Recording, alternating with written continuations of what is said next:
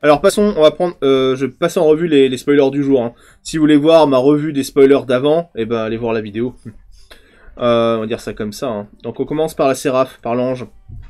Alors moi je suis pas spécialement vendu dessus. Donc pour quête c'est une quête 3 vols. Ange non légendaire. Mythique, la rareté. Euh, elle a Afterlife 2, c'est-à-dire que quand elle meurt, elle met 2 tokens 1 1 vol sur la table. Et on peut payer 1 mana blanc, elle gagne vigilance, on peut payer 1 mana noir, et elle gagne des jusqu'à la fin du tour. Euh, la carte est bonne, évidemment, pour 4 une 4-3 vol qui fait pop 2 1 vol quand elle meurt, c'est cool. Maintenant, euh, l'effet de mort n'est pas garanti, parce qu'il y a quand même pas mal de choses qui exilent, notamment la Bacoil, par exemple. Mais ça reste ok. Et je n'aime pas sa comparaison. Moi, je n'aime pas sa comparaison avec euh, ses pairs au, au drop 4, en fait. Genre, ma comparaison, c'est Aurelia, par exemple. Je pense que je préfère largement Aurelia. Si on s'amuse à faire un espèce de Horse of Angel, c'est-à-dire avec Lyra derrière, je pense que je préfère quand même avoir Lyra que elle. Vous voyez ce que je veux dire? Je préfère faire... Euh, pas Lyra. Je préfère avoir Aurelia que elle. Je préfère faire un truc genre Aurelia dans Lyra que Seraph dans Lyra. Après, je peux me tromper, mais le truc bien du, du Death Touch, c'est que ça nous permet de trade notamment face à Tyran. Ça, c'est cool.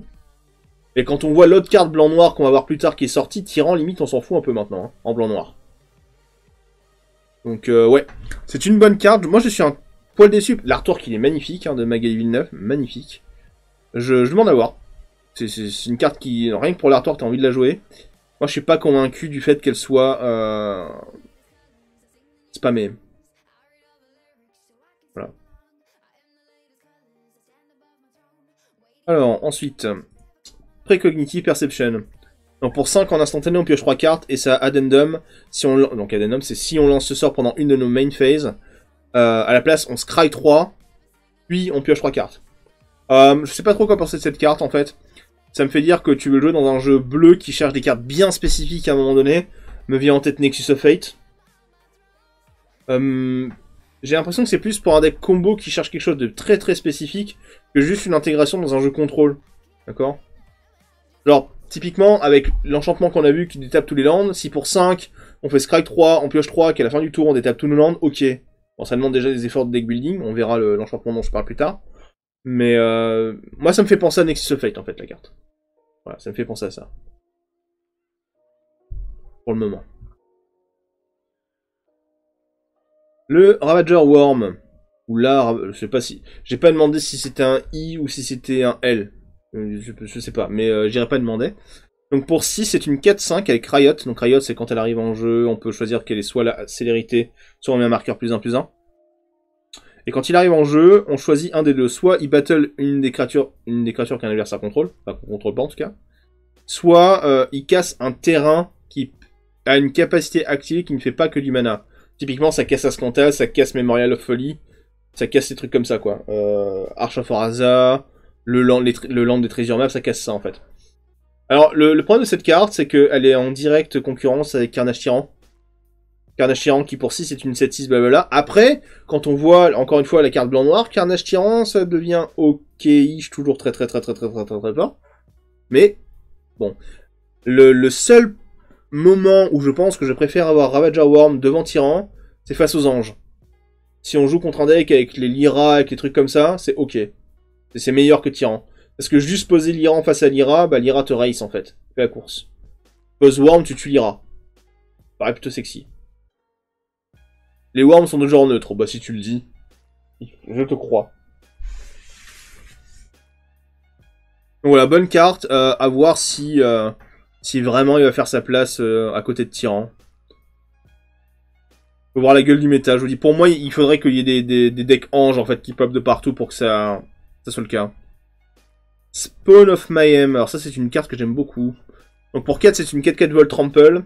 Au début de notre tour, au début de notre entretien, chaque joueur perd un point de vie. Et si jamais on a 10 points de vie ou moins, on met un marqueur plus 1 plus 1 sur le spawn. D'accord? Le truc, c'est qu'elle a spectacle 3. Je veux dire, donc spectacle, c'est la capacité Rakdos qui dit que si votre adversaire a perdu des points de vie pendant ce tour-ci, vous pouvez jouer cette carte pour son coup de spectacle. C'est-à-dire qu'en gros, vous attaquez, vous mettez 2 avec n'importe quoi là, euh, vous la posez, c'est une 4-4 vol pour 3. La chose la plus intéressante, c'est qu'une fois qu'elle est sur table, elle va proc le spectacle, le- toutes les cartes de spectacle de votre deck au prochain tour. D'accord? Puisque chacun des joueurs prend un point de dégâts, donc du coup, si vous en avez un deuxième dans la main, il n'y a, a même plus besoin de faire l'attaque pour pouvoir la jouer. Il n'y a plus besoin de connecter pour pouvoir la jouer. Donc très bonne carte. Pas complètement broken parce que ça reste une créature. Lavacoil la gère. Et oui, je, vais souvent dire Lavacoil, mais Lavacoil c'est un benchmark quand même pour les créatures. Euh, donc ça meurt sur la par contre ça met une sacrée cloque. Hein. Quand tu joues agressif noir, ça, va sacrément vite quand tu mets une 4-4 vol sur la table tour 3. Hein. Donc euh, ouais, c'est une bonne carte, très bonne carte, mythique au passage. Donne envie d'être joué. elle aussi, Teza Karloff. Euh, dessin Magali Villeneuve. Magali Villeneuve, pardon. Une de mes cartes préférées, je pense. Ouais. Donc pour 4, c'est une de 4. Alors le texte est un petit peu compliqué à expliquer. Donc si une créature qui meurt fait en sorte qu'une capacité déclenchée d'un de vos permanents a lieu, alors on déclenche cette capacité une fois de plus. Si je traduis en version facile, si toi avoir Afterlife sur table, et toi avoir Tessa sur table, si ta créature meurt et déclenche Afterlife, bah t'as Afterlife une fois de plus. T'en comprendre Voilà, donc euh, Afterlife 1 devient deux fois Afterlife 1. L'ange qui fait Afterlife 2, s'il meurt alors que Tessa est sur la table, alors il y a deux Afterlife 2 qui proc. Si jamais tu as un Midnight Reaper sur la table, et qu'une créature meurt et que Tesa est sur la table, tu vas piocher deux cartes et perdre deux points de vie. Voilà. Et ça dit aussi, et c'est une autre ligne qui dit que les euh, créatures tokens qu'on contrôle ont vigilance et lifelink. Passage. Et c'est une de 4 pour 4. Le Skargan Elkai, donc c'est un dragon mythique rouge. Pour 5, c'est une 4-4 vol Riot. Donc euh, plus 1, plus 1, was, blablabla. Et qui dit qu'on peut payer 4 et on inflige 2 points de dégâts répartis comme on le veut sur euh, deux, cibles en fait. Ça peut être des planeswalkers, ça peut être des joueurs, ça peut être des créatures. Et on ne peut activer cette capacité que s'il a des marqueurs plus 1 plus 1 sur lui. Donc en gros que si on a... Pas que mais... Souvent lorsqu'on a euh, mis le plus 1 plus 1 avec le Riot. Alors j'aime pas cette carte. Elle a pas des... Quand elle arrive en jeu elle fait rien. Ça peut être une 4-4 vol célérité pour 5. Ouais, ok, admettons. Disons que quand on a connu, euh, quand on a Glorybringer, 4-4 vol célérité pour 5, euh, bon, voilà quoi. Euh, donc je suis pas convaincu. Je suis même assez circonspect du fait qu'elle soit mythique. Donc peut-être que je la sous-estime complètement et qu'on va pouvoir faire des, decks complètement complètement pétés avec les, marqueurs plus 1 plus 1 et à ce moment-là cette capacité sera là sera bonne mais j'y crois absolument pas hein. parce que techniquement même en admettant que tu mettes le marqueur facilement ça veut dire que le premier 2 points de dégâts que tu vas mettre il coûte neuf. ça, coûte cher, quoi. Donc, euh... Oui, voilà, quoi. Pas convaincu. Donc ça, c'est une carte de, limité, je vais même pas l'afficher en grand. Donc Pour 5, c'est une 4-4 qui dit qu'on peut l'engager, on retire un compteur plus 1 plus 1 d'une créature, et on inflige 2 points de dégâts n'importe où. Cette carte est assez intéressante dans le sens où on voit qu'ils ont pensé à une mécanique qui retire les compteurs, qui consomme les compteurs. Euh, donc s'il y a une version rare ou mythique d'un truc qui fait comme ça, on va peut-être regarder. En limité, ça reste très très fort. Dépose, déploie. Alors ça, c'est une carte qui est intéressante, je trouve. Donc pour 2 en instantané, d'un côté, on engage une créature, on pioche une carte. De l'autre côté, en instantané, c'est important quand même. Euh, pour 4, on met 2 euh, tokens 1-1 vol artefact. Et on gagne autant de points de vie qu'on a de créatures en jeu. Euh, c'est une carte qui est assez intéressante. J'arrive pas trop à voir une utilisation. Peut-être en blanc-bleu, relativement agressif, à base de Devinban, donc le nouveau Planeswalker, et de Karn de Vinman's Karn et puis euh, pas mal de, créatures qui volent et de petits artefacts peut-être, je sais pas. En contrôle, c'est quand même pas fou. Oui, t'as deux 1 à vol qui peuvent protéger Teferi, admettons, t'as le truc qui engage qui peut protéger Teferi, mais je vois pas pourquoi est-ce qu'on jouerait ça en contrôle. Donc c'est plus pour un jeu agro tempo pour moi. C'est-à-dire quoi WU WU c'est blanc-bleu. Voilà, donc euh, pas impressionné par la carte. Demande à voir. Grosse Chamber Guardian. Ça, c'est une carte qui est intéressante. Donc, outre le fait que c'est un elfe crabe guerrier. Moi, déjà, rien qu'à ça, euh, je m'éloigne de lui. Euh, donc, pour 2, c'est une 2-2 qui a... Euh, pour 3, on adapte 2. Donc, c'est-à-dire que pour 3, on met deux marqueurs plus 1 plus 1 sur elle si jamais elle n'a pas d'autres marqueurs plus 1 plus 1 sur elle. Et à chaque fois que 1... Ouais, c'est ça.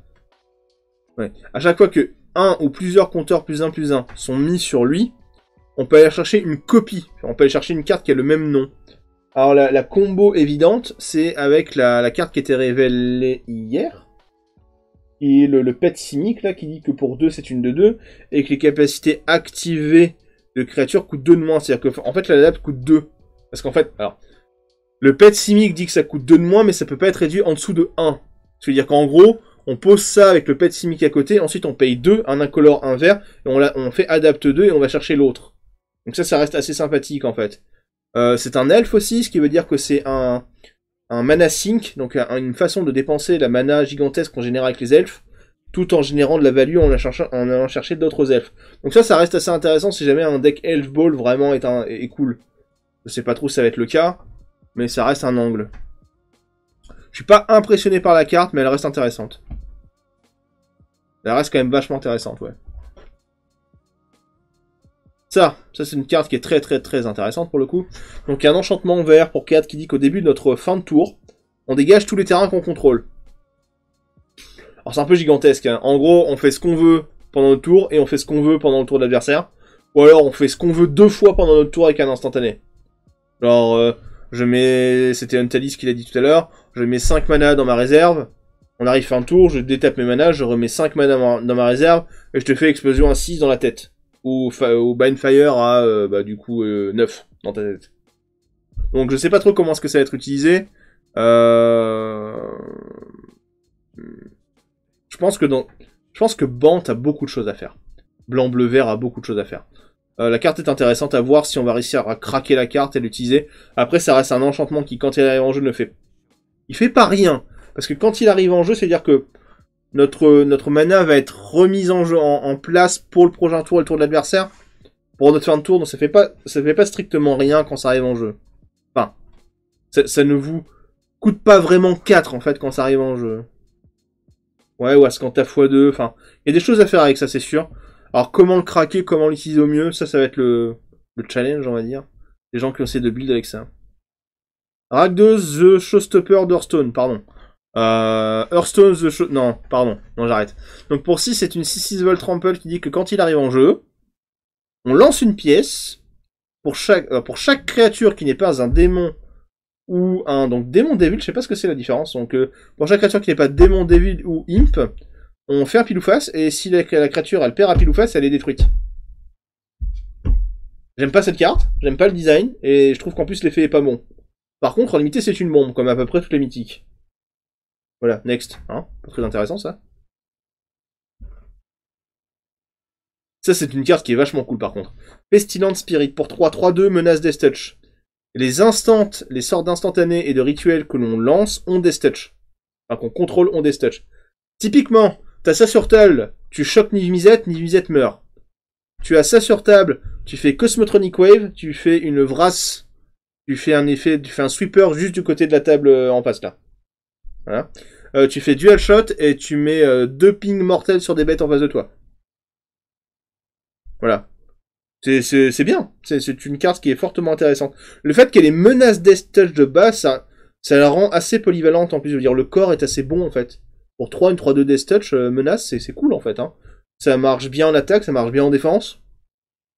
Et ça a un effet sympa. Donc voilà. J'aime bien la carte. À voir comment est-ce qu'on va pouvoir l'utiliser, mais j'aime bien la carte. End Race Forerunners. Alors en gros, pour 8, c'est un gros ton. Qui, quand il arrive en jeu, fait en sorte que toutes les bêtes qu'on contrôle sont des gros tons. Donc pour 7, c'est une, pour 8, pardon, c'est une 7-7 vigilance trample ast, et il fait le café, si vous le demandez gentiment. Et quand il arrive en jeu, on donne plus de plus de vigilance trample à toutes les, toutes les autres créatures qu'on contrôle jusqu'à la fin du tour. En gros, si toi posais ça, et toi avoir des créatures à côté, toi va gagner, euh, va gagner game. Mais si toi pensais que ça marchait construit, toi va bien dans ta tête. Ça, même en limité, à mon avis, c'est pas facile à caster. Donc, euh... ouais. Il est beau, il est bien. C'est un joli sanglier, des jolis sangliers, mais c'est tout. C'est une, bonne description. Prime Speaker Vanifar. Donc en fait, c'est ça, c'est Bursting Pod sur patte. On peut dire ça comme ça. Donc pour 4, c'est une 2-4, légendaire créature, c'est tout ça. On peut l'engager, sacrifier une autre créature, et on va, chercher, dans la bibliothèque une carte de créature qui a un coût converti de mana de 1 en plus. D'accord Vous sacrifier une créature qui coûte 2, vous allez en chercher une qui coûte 3, vous la mettez en jeu. Le défaut de ça, c'est qu'on peut activer ça que en sorcerie. Alors le délire, c'est que le fait que il faut C'est l'histoire de Bigard, ça, en fait. C'est, admettons, tu poses la créature. Admettons, elle passe le tour. Admettons, ça revienne à ton tour. Et admettons que t'es une autre créature à poser. Alors, tu peux faire ça. Bon, l'effet est super fort, évidemment. Mais euh, je ne vois pas comment ça peut casser des briques. Je vois pas comment est-ce qu'on peut vraiment en abuser. Parce que ça demande tellement de choses qui marchent bien. Il faudrait pouvoir en abuser, en fait. Donc voilà.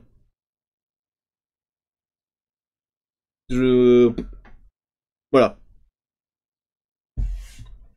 Je demande à voir. Donc le carnaval. Carnival, Carnage. Euh, c'est de la double carte euh, Unco. Ragdos. Donc pour un noir ou un rouge, on inflige un point de blessure à une créature ciblée ou un planeswalker ciblé, et on inflige un point de dégâts à son contrôleur. Et pour 4 en sorcerie, euh, on inflige 3 points de dégâts à un adversaire et il se défausse de deux cartes. Cette carte, je pense qu'elle est foncièrement mauvaise. Il euh, n'y a aucun des deux côtés qu'on a vraiment envie de jouer. Dans aucun deck. Je veux dire, infliger un point de dégâts à une créature et un point de dégâts à son contrôleur pour 1. Ouais. Bon, admettons. Et euh, un Mind Rot attaché à un truc qui fait 3 points de dégâts de l'autre côté pour 4. Je trouve la carte très très moyenne. Pour pas dire pire en fait. Alerta Maxima. High Alert. Donc ça c'est la... Alors, euh, enchantement, blanc-bleu. Les créatures qu'on contrôle infligent autant de points de dégâts que leur euh, euh, endurance. Et les créatures qu'on contrôle ne peuvent attaquer comme si elles n'étaient pas des murs, comme si elles n'avaient pas de Defender. et on peut payer 4, on, dégage une créature. En gros, les deux premières lignes de texte, c'est ligne, les mêmes lignes que Arcades, le dragon. Et le fait qu'on puisse dégager une créature pour 4, je trouve ça assez médiocre, bizarre, étrange. J'arrive pas à voir ce qu'on peut faire avec en fait. Euh... Mais je trouve ça assez mauvais. Globalement, je trouve ça assez mauvais. En tout cas, je, vois pas comment le faire. Ça, c'est une carte intéressante qui arrive. Vous connaissez Carnage Tyran Paraît que c'est fort, hein hmm. Ouais, bah, moins. Alors, le côté, euh, le petit côté pour un incolore et un blanc ou un noir, on exile une carte d'un cimetière et on pioche une carte. Ça, c'est moyen. Par contre, le sum, il est un peu, il est un peu gigantesque. Pour 4, le joueur ciblé sacrifie la créature qu'il contrôle avec la plus grosse force, et vous gagnez autant de points de vie que la force de cette créature sacrifiée. En gros, le mec qui joue tyran, vous jouez ça, et le tyran meurt, et vous gagnez 7 points de vie. Dit comme ça, c'est assez sympa, n'est-ce pas? Hein? Euh, C'est une carte que j'aime beaucoup. C'est une carte qui va, qui va ravir les joueurs de contrôle et d'espère, je pense. Euh, c'est une carte qui veut dire que Golgari a de fortes chances de se transformer en Abzan aussi. Euh, ouais, ouais, ouais, ouais, ouais, ouais, la carte qui dit tu es tyran, tu es un tyran, s'il vous plaît. Et donc très très bonne carte, très très bonne duel carte unco en plus. Très très bon, juste très bon. il n'y en aura pas 4 dans tous les decks, hein, mais euh, ça sera présent dans les 75 cartes de, de pas mal de decks, je pense. Et en Unco, ouais, c'est ça. Très très bonne carte. Et enfin, non pas enfin, il en reste trois, hum, presque enfin. Le, fameux euh, Bramido del Carnarium. J'ai un super accent euh, spanish euh, portugais. LV3 ou 4. c'est pas grand en plus. Donc pour 3, on donne moins de moins 2 à toutes les créatures jusqu'à la fin du tour, jusque, jusque là on connaît. On exile toutes les créatures, les cartes de créatures qui vont, enfin qui ont été dans le cimetière ce tour-ci, en gros. Donc moins de moins de toutes les créatures, puis, juste après ça, toutes les cartes de créatures qui sont allées au cimetière pendant ce tour-ci, on les exile. Et si une créature devrait mourir ce tour-ci, on l'exile à la place. Ça, c'est gros, hein. Ça, ça veut dire que tous les effets de mort, tels que Afterlife ou n'importe quel effet de mort, ne proc pas. Midnight Reaper. Vous jouez ça avec un Midnight Reaper sur la table, ça marche pas Midnight Reaper. Vous jouez ça avec le Afterlife sur la table, ça marche pas. Vous jouez ça avec euh, le petit Undead Witness pour 1, ça marche pas. Ouais, vous avez compris. En gros, ça marche pas. Euh, la carte est sympa.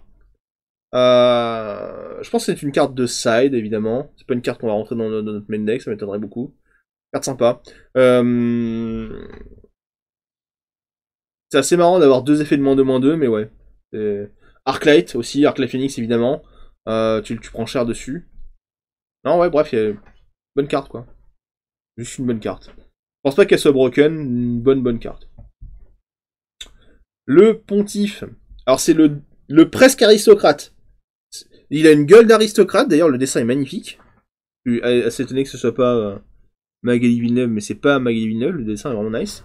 Alors, même sur le dessin, c'est un aristocrate, sur le nom, c'est un aristocrate. Il ressemble à un aristocrate parce qu'elle me sacrifier notre créature sur la, sur la, sur la carte, mais ça coûte 1. Ils se sont dit, on va pas faire les cons, on va pas rééditer des aristocrates où ça coûte rien de sacrifier. Ah, arrêtons de faire les cons, les Michel, faisons un truc un peu plus équilibré.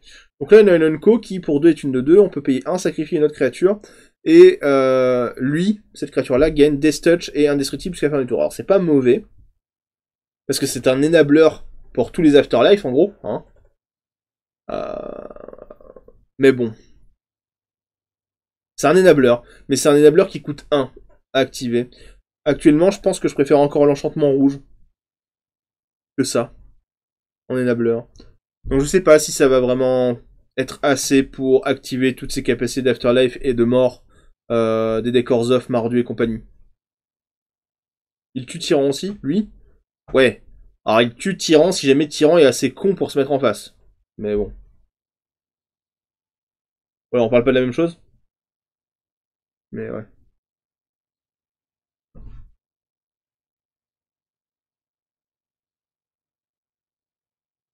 Et en plus tu prends 5, ouais. Euh, et donc, euh, donc on l'a vu, euh, on, termine par ce qu'on a commencé, la boucle est bouclée. pour 4, une 3-4, qui quand il arrive en jeu, l'adversaire défausse une carte, et vous gagnez 3 points de vie. Je trouve la carte vraiment bonne, mais je pense pas qu'elle fera le cut en construit. Ça reste vraiment moins fort que Finebroker et que Crackling Drake en fait. Je pense que celui qui a le plus de chances de voir du, jeu, du cycle qu'on a vu là, c'est celui Rakdos quand même. Celui Rakdos il est assez violent. Mais je suis même pas sûr qu'il voit du jeu. Il nous manque le Simic, on n'a pas vu le on n'a pas vu le Simic là en bleu bleu vert vert. Et il nous manque quoi d'autre? Lazorius on l'a pas vu non plus? Il nous manque le Simic et Lazorius pour le cycle complet. Et le dessin est magnifique encore une fois, hein. passage. L'adresse du site où je vais, oui. Alors, tac. Et voilà, donc on a fait le tour des spoilers du jour.